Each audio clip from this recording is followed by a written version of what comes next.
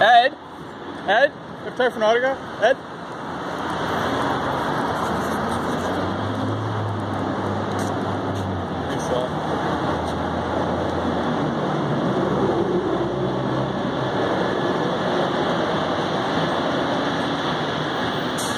Thank you.